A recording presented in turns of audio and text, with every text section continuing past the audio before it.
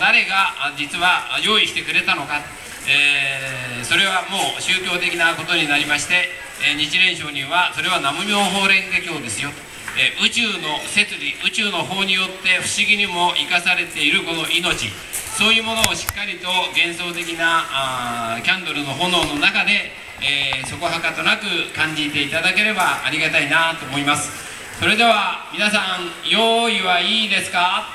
10からいきますからそして、えー、最後1の次にライトダウンというと境内のほとんどのライトが落ちます、えー、一部皆さんの安全のためにスポットがついているところもありますがそれはあくまでも皆さんの安全のためですので、えー、ご容赦ください。あとはほとんどのライトが落ちます。どうぞあのライトが落ちた後はちょっと目が慣れるまであまり大きく急に動かないようにしてゆったりと動いていただければと思います。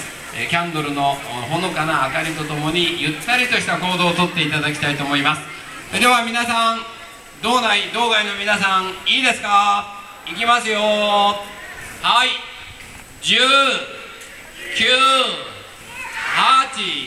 8 7 6 5 4 3 2 1ライトダウン。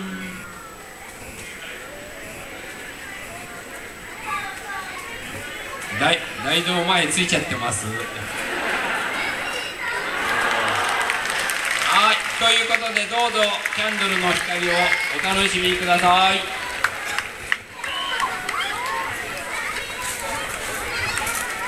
はい。皆さんちょっと気をつけてあの行動してください。